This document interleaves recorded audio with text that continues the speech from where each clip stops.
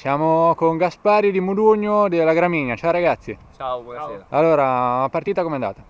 Beh, io direi al di là del risultato è andata abbastanza bene.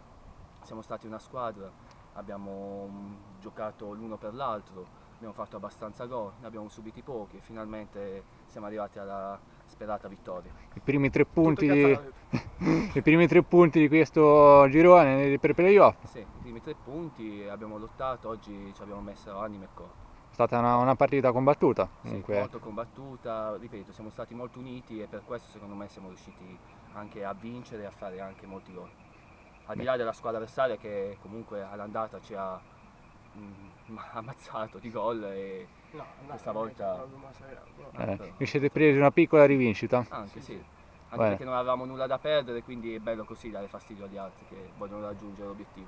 Bene ragazzi, in bocca al lupo per le prossime partite e grazie per il vostro tempo. Crepi Grazie. lupo, ciao. Ciao ragazzi.